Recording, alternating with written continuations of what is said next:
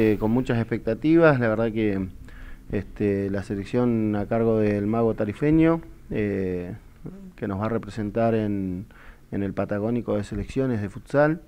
Eh, partieron dos delegaciones porque fue invitado también Villa Angostura, que conformó un, un plantel también para participar de este Patagónico. Así que muy contentos, la verdad mucho sacrificio en la previa para, para preparar el viaje, para costear los gastos y demás, pero este, bueno, la verdad que este, satisfactorio desde la parte dirigencial poder estar presente nuevamente en un torneo de, esta envergadura. ¿no? Como siempre remarcamos, eh, Horacio ha crecido mucho el futsal de, Bariloche, ¿con qué posibilidades y expectativa va esta, esta selección? La verdad que tuvimos muchos problemas para conformar el plantel, porque obviamente esto es una disciplina eh, aún amateur y, muchos chicos no consiguieron los permisos laborales. Eh, así que costó bastante conformar el plantel, pero como yo había dicho en, en varias oportunidades, el futsal de Bariloche ha crecido mucho y hoy hay este, 50, 60 chicos que tranquilamente pueden integrar un proceso de selección.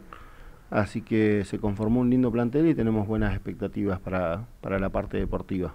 ¿Quiénes acompañan a, a, Tarifeño en el cuerpo técnico? Bueno, en este caso viajó este José Marín como jefe de la delegación y lamentablemente no pudo viajar Claudio Vargas, que era el ayudante de campo, así que este, van ellos, va un dirigente de, Villa Angostura, eh, van dos chicas del departamento de prensa, eh, Nati Ocares y Anita Bregó, y bueno, el plantel de Villa Angostura y tres árbitros de nuestra liga que fueron convocados por, por la Federación Patagónica para, también para, para cumplir funciones en el torneo. Dentro de poco también, Horacio, hay representación de, en Chile, ¿no? De, un elenco de, de, Bariloche. Estamos hablando de Alborada también en futsal. Sí, sí, eh, a partir del viernes Alborada va a estar jugando un, un torneo sudamericano muy lindo, con este, eh, muy buenas expectativas, también con, también con problemas para conformar el plantel por, por el hecho este de las cuestiones laborales.